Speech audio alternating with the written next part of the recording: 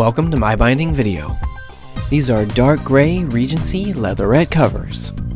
They're made to protect your books made with a variety of different sizes.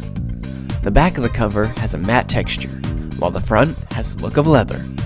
We also have an option to add a custom window, or using gold or silver foil, even add your own logo to the front. Here are a few keywords associated with dark gray to help you choose the right color.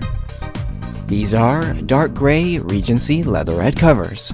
For more demos, reviews, and how-tos, go to mybinding.com.